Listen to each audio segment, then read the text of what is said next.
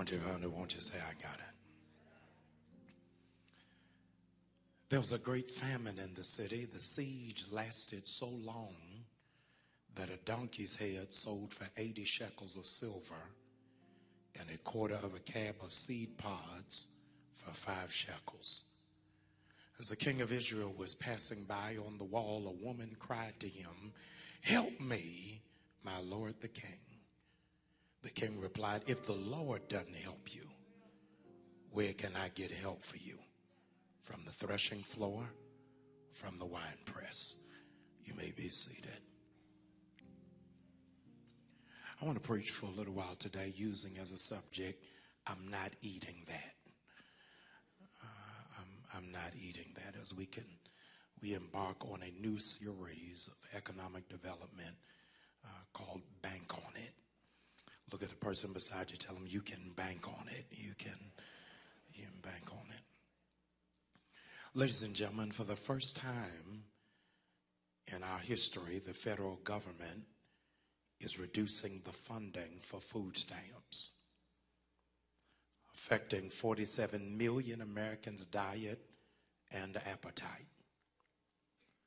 In 2009, the Recovery and Reinvestment Act, commonly known as the stimulus package, gave a boost to those trying to get back on their feet and at the very least ensured that there was bread on the table. It was the original intention that the increase would stay in place until the inflation rate was ironed out, leaving the adjusted rate from the stimulus package to remain in place until 2015.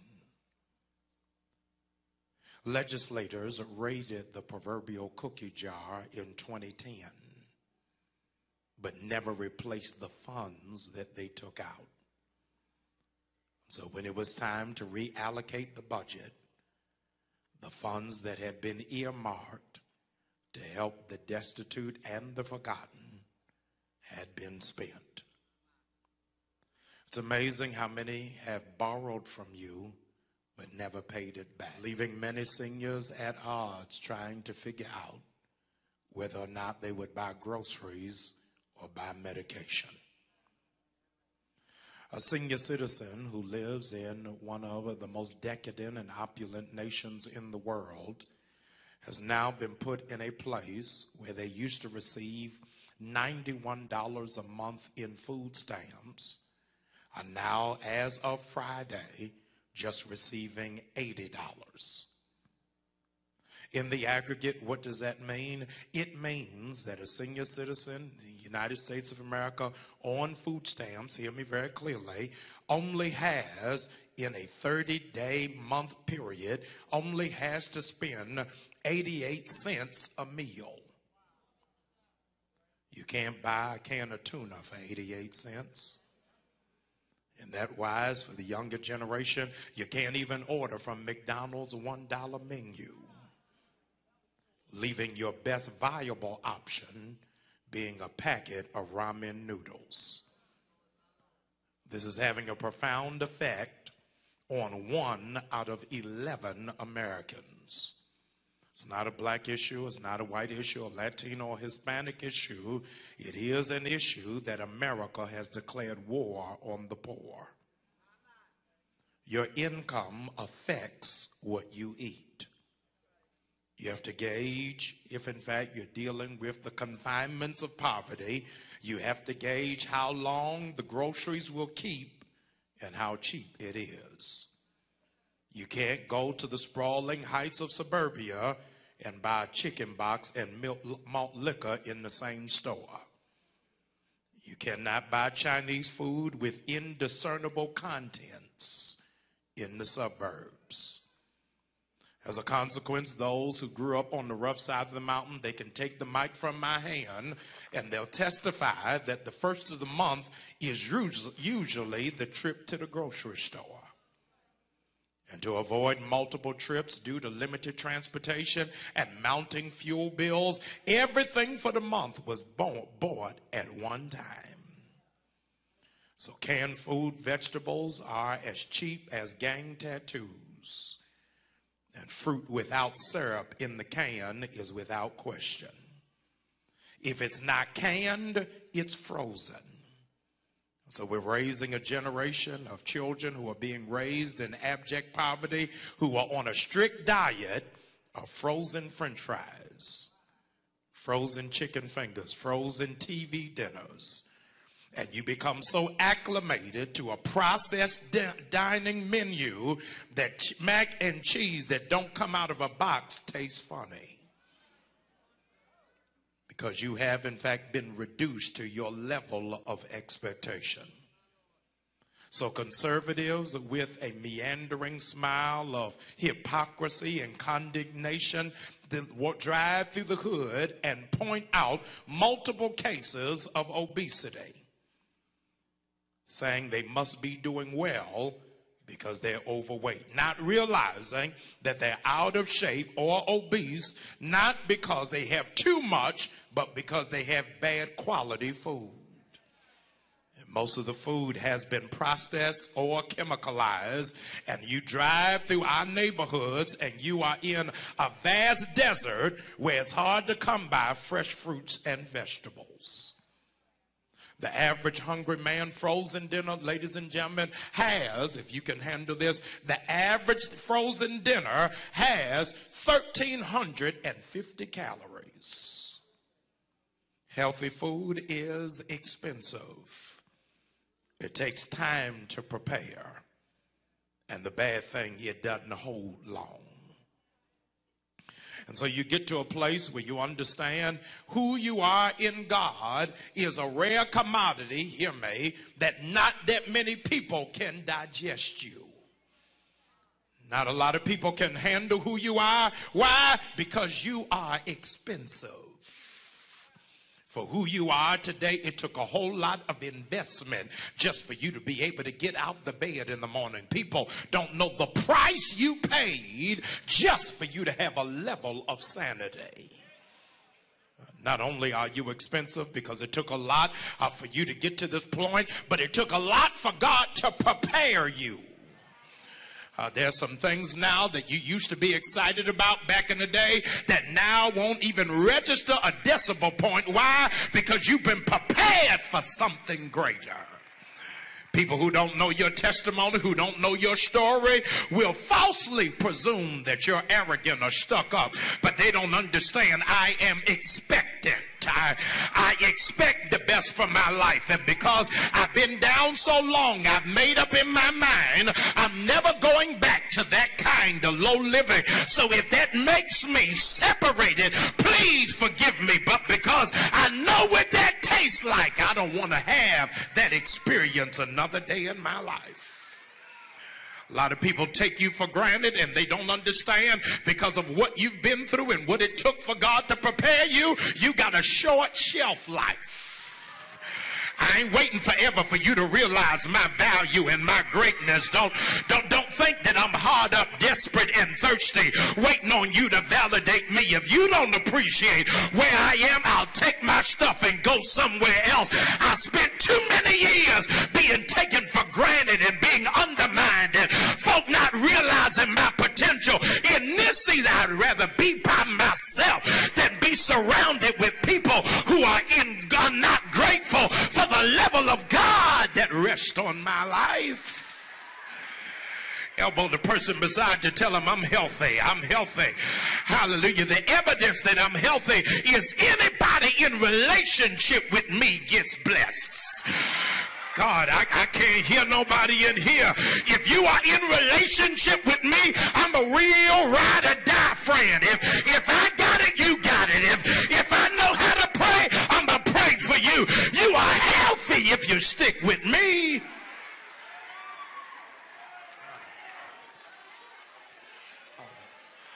Hallelujah. The Word of God the Word of God, watch this. The Word of God has been called the living bread. It is the living bread. Watch this. It has been called the bread of heaven. Jesus, who is our Lord and Savior, was born in a place called Bethlehem, which translates to mean the house of bread. in Second Kings chapter 6, it says that, watch this, there is a famine in the city, which means that there is no bread. I need you to stay with me, not just literally, but metaphorically. Here it is that the people of God are living in a famine, which means there is no bread. I told you the word of God is bread of heaven. Jesus was born, watch this, in Bethlehem, which is the house of bread. Y'all stay with me. I'm trying to show you something real quick. And the people are dying because there is a famine.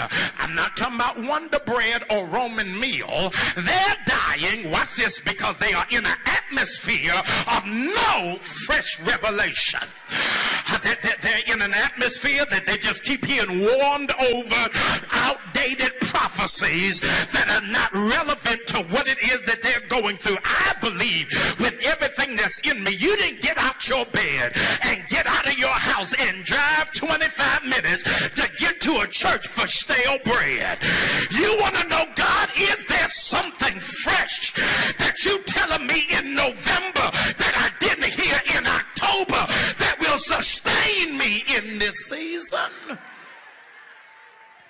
And so the body of Christ is going through a drought because there is no fresh bread. The word that is going out now is moldy. The texture is processed. Y'all not talking back to me. As a matter of fact, it feels frozen. It's moldy. Watch this because it's hard to hold and hard to digest. And I'm going to ask you a critical question Who wants frozen bread?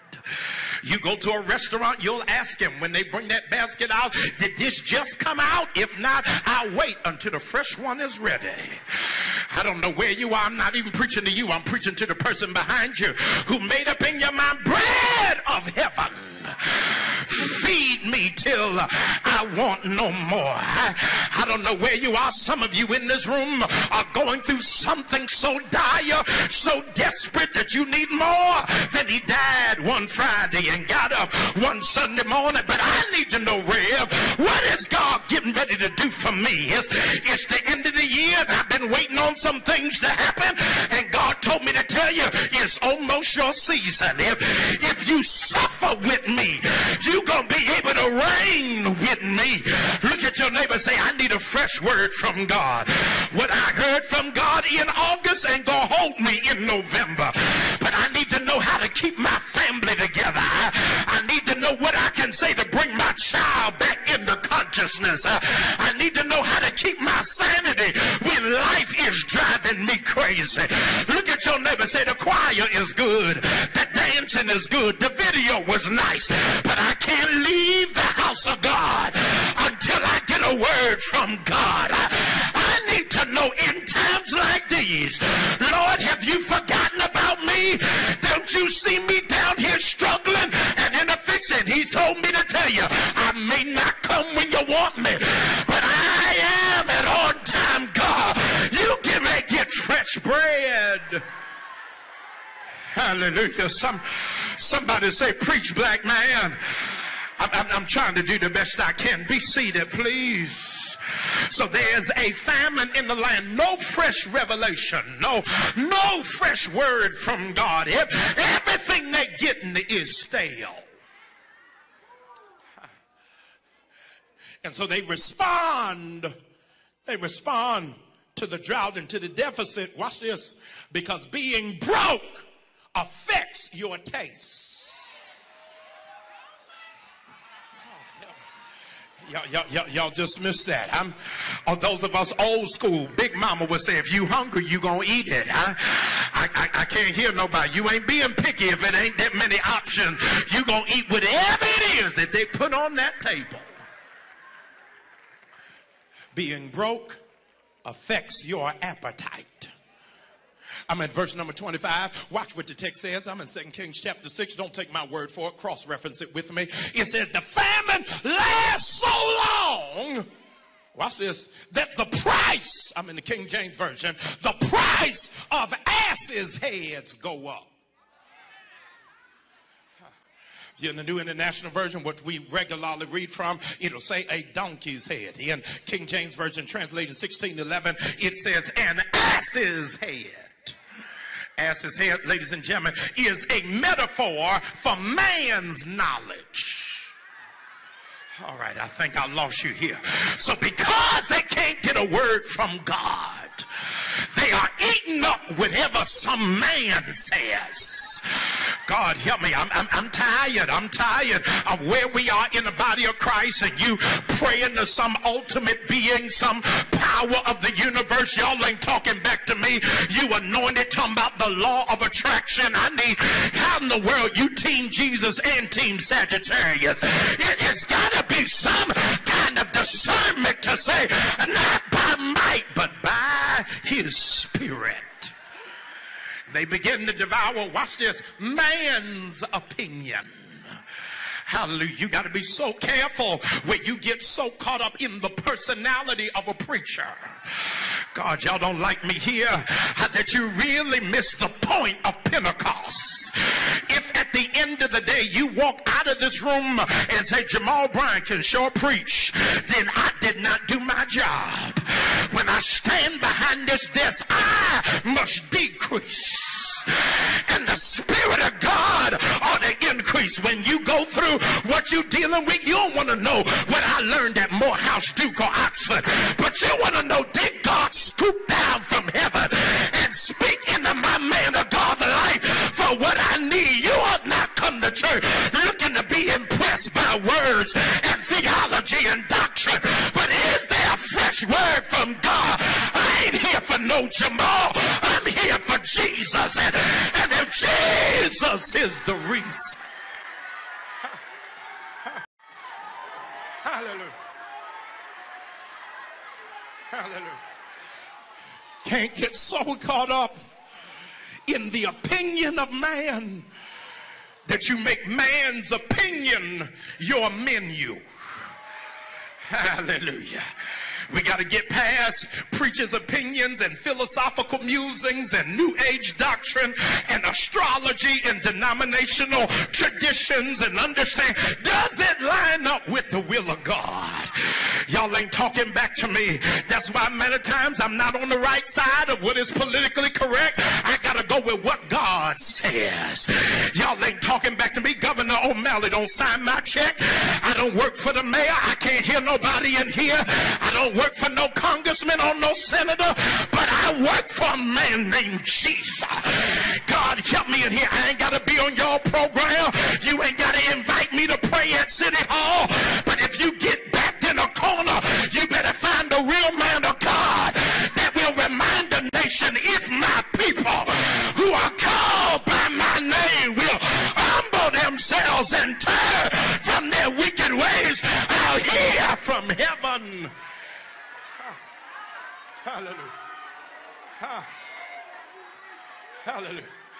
Be seated, please.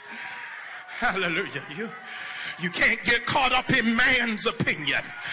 I want to talk to 50 y'all in the room. You know it is from God when it stretches you out of convenience. God help me in here. You know it's from God when it don't make logical sense, when it's not reasonable, when it's not rational. I know it must be from God. You ain't never heard of no church walking outside of a jail, over a thousand people in 40 degree weather and lifting up the name of Jesus. But, but when God comes, he gives strange direction. Look at your neighbor say, I never thought I would do some of the things I've done since I've been in this church. But God has stretched me in a way that I know if it were not for God, folk would look at me like I'm crazy. Look at your neighbor say, God gives me wisdom. He gives me wisdom that don't match my background, my degree, my training, my pedigree, or even my education. But when I stand, I speak with authority because God will touch my mind and give me insight about stuff that don't even make sense. Neighbor say, I don't have a PhD, but I'm a good therapist because I done talk myself out of going crazy. There were moments the enemy tried to kill me, but I had to get my mind back on straight and declare I woke up this morning with my mind stayed on Jesus. Hallelujah. Be seated, please. The text says it gets so bad. Uh, not only are they eating uh, donkey or ass's head, uh, watch what the text says. The text says they are also eating dove's dung. All right, I better slow walk here. They're eating dove's dung. Watch this. And the price of it is going up. All right. Uh, you should know by now uh, that the Holy Spirit metaphorically is symbolized through a dove. Uh, you remember when Noah came through that storm? Uh, that God sent him a symbol to let him know the storm you just came out of. You ain't ever gonna have to go through that again. I better stop right there because some of y'all just missed that. Would you look at your neighbor and say, You just completed the worst season of your life? Hallelujah. If you were going to drown, it would have happened 30 days ago. But because God gave you a life preserver jacket, every time you thought you were going to go down, God gave you buoyancy to be able to bounce back up. You will not go out in this season. The Holy Spirit uh, is uh, uh, metaphorically represented as a dove. When Noah comes out of the ark, he sees the rainbow. The dove comes with an olive branch to let him know dry ground is near. You cross pollinate, going to the New Testament. You remember when Jesus gets baptized and Jesus, the Father turns on the, uh, the turns on the audio visual uh, department in heaven and makes the booming announcement, "This is my Son, in whom I'm well pleased." And after Jesus emerges from the water, a dove is released. It is a symbol of the Holy Spirit. Stay with me here. In Second Kings chapter six, watch this. The, the, the, they are so destitute and in such dire predicament that they're eating ass's head and dove's dung. Mm. All right, they are not eating the dove itself, they are eating the dung, the residue, the excrement. Uh, watch this that the dove has released.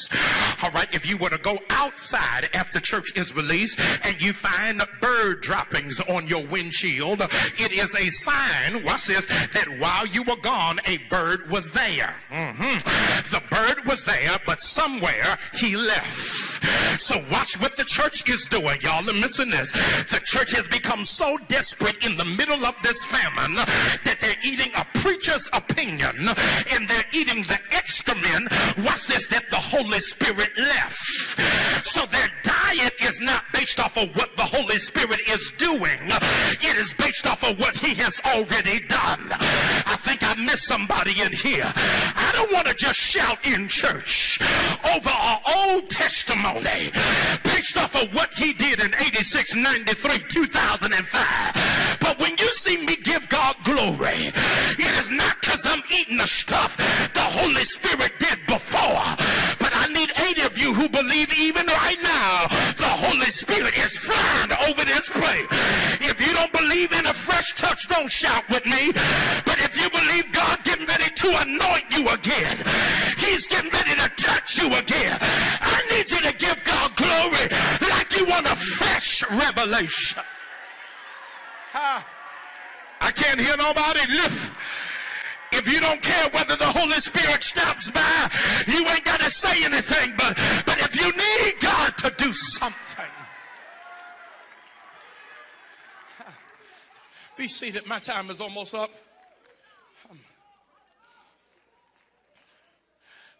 Whoever you're seated beside today, would you lean, would you lean over to him and tell him, I can't eat off the past. Look him in the eye and tell him, I'm feasting off the future. Hallelujah. You just missed what I just said. Look at the person on the other side of you. Tell them, I cannot eat off of the past. I'm getting ready to feast off of the future. Pastor, I'm lost. What are you saying to me? When you see me give God a shout this time, it is not for what he's already done,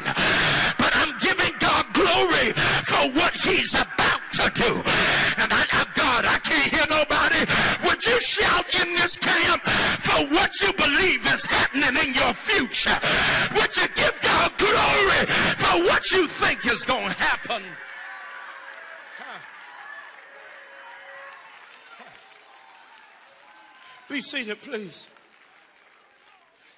2,000 years ago, uh, on a cross far away, there was, there was a man named Jesus. Hallelujah. Help me to preach it right. And, and uh, they hung him high. And hallelujah. They, they, they stretched him wide. And uh, they, they were trying to make him hurry up and die.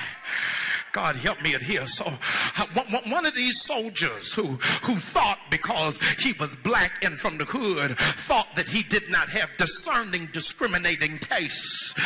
He, he, he got a spear and put a sponge on the end of it and dipped it in vinegar. God help me here.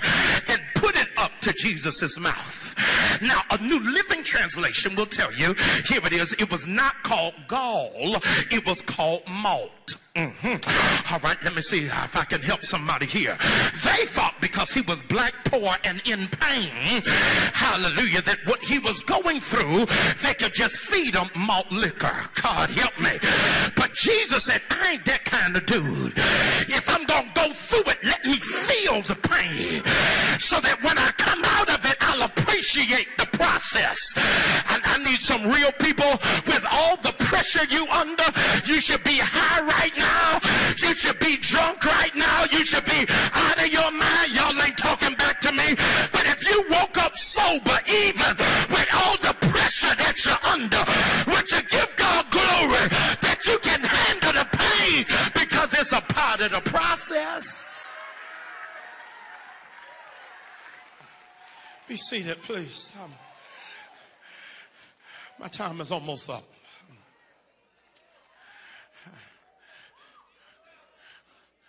You can't avoid it if you get ready to be delivered from it. I said, you can't avoid it if, um, if you get ready to be delivered from it. Some, sometimes God uh, will let you taste disappointment. He'll, he'll let you taste frustration and let you taste loneliness so that when you come out of it, you, God, I wish I had some church people in the room. You, you won't forget what that tastes like. Hallelujah. You got to tell the enemy you meant it for evil. But God is getting ready to work it out for my good. Look at the person beside you. Tell him you couldn't even order from my menu. If you know the stuff God had to force feed me into dealing with, there's some stuff then that I didn't want, but I thank God for it now because had I not gone through that, I wouldn't have the person that I am today. But God made me eat some stuff. You'd be amazed uh, how many people in this room in this season have had to have humble pie a la mode. Uh, you, God help me. You don't even like asking people for help. I need some real people. They, they, they, they, don't even know that there were some days you had to hold back the tears. And God help me. You ain't never had to struggle like this. You ain't never been frustrated like this. Uh, but you're able to declare even over yourself, weeping may endure for a night. But God, if you help me to wake up another morning, I believe something is getting ready to shift. Be seated, please. Um, um, uh, I, uh, the king is passing by. And this mother uh, who been affected by the food stamp reduction starts screaming out because she's in the purview of the king. King, help me. And, uh, and the king stops where he is. and he says something that I hope you, you can handle uh, and digest today. He says, verse number 28, uh, he says, verse 26, he says, if the Lord don't help you, how you think you gonna get out of this? God, I say, I, you, you don't even understand that every now and again God strategically cuts off every other source. Ah, God, I can't. You done called family, they struggling as bad as you are. You done called friends, and they ain't got two wood nickels to rub together. God says, I had to cut everything off because I miss hearing you. God, help me. And I know sometimes the only way I can get your attention is I got to cut some stuff off. And I, I, miss the sound of your voice. It does something to me when you can worship me when you're not sure where the next meal is coming from.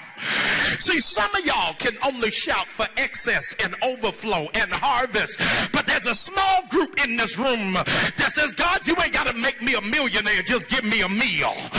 God, I can't hear nobody in here. I, I don't need no Maybach, I don't need a Bentley. Just give me a working car where the red light ain't on, messed up, where the transmission won't fail, where the tires got air in it. I'm not asking God for extra.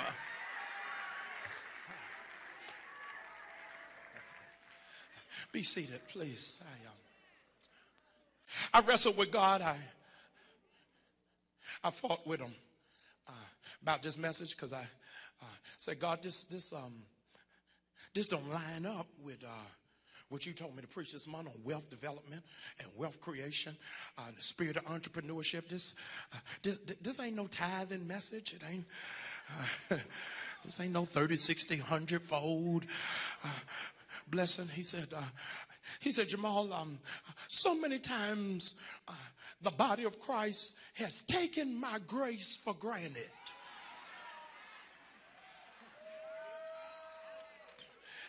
They asking me for fur coats and diamond rings and Birkin bags that um that they forget that I'm God of necessities. Would you remind them for me, Jamal? Remind them for me. He will supply. God, and now my church is coming in. All of my Y'all, y'all, y'all don't have any needs in the room. This is going to be a crazy shout. It's going to be almost offensive to your level of intellect. But here's what God told me to say to you. He said, Jamal, tell 730, tell 730, please tell 730 to cry out unto me like they expect me every day, watch this, to feed their family. Now, I, I know that ain't extra. I, I know that ain't a whole lot, but I, God, I can't hear anybody. Those of you that want to believe by faith, my children will never be hungry. My grandchildren will never be in lack. But Lord, every day, put food on the table. Hallelujah. Hallelujah. I'm, I'm getting ready to go. I'm, I'm getting ready to go. He, he gave me instructions he says, I want to see what is the level of their faith that they'll believe by power. Watch this. That even while the government has made cutbacks, heaven is getting ready to make a setup. God, y'all, y'all just missed that in here. And I'm believing by faith. I don't know whether y'all can handle it. One out of seven Marylanders don't know where their next meal is coming from. But I want to see whether there's a mature body in this house. I want you to declare, watch this, when you give God glory, that not a member of this ministry, not a member of this community is going to go hungry. Y'all, y'all, y'all ain't talking back to me, huh? See, if I were talking about millions of dollars and checks in the mail, y'all would be running through the church. But I, I need to see some believers that can testify. I've never seen the righteous forsaken or his seed begging for bread, would you lift up your voice like nobody on your roll will ever have to worry about where their next meal is coming from? Hallelujah. If you lift up your voice, Nobody standing around you will ever be in a soup kitchen line. If, if you lift up your voice, no child will go to bed hungry. If, if you lift up your voice, hallelujah, hallelujah, hallelujah, hallelujah. God is getting ready to do his perfect will. Hallelujah. I need you to lift up your hand. Hallelujah. I don't know where you are. Hallelujah. Bless your holy name. I, I don't know whether you're struggling. I don't know if you got your back up against the wall. That when you open the refrigerator, you can see your own reflection. But I need some God-like worshipers. If you lift up that hand, watch this. God says, if you give me glory, let me see your level of faith. Any person under covenant with this ministry, I'm getting them off food stamps by the end of the year. I don't want them dependent on nobody but me. I, I am their source. Hallelujah. If you have that kind of faith, I want you to lift up that hand and open up your mouth and cry out.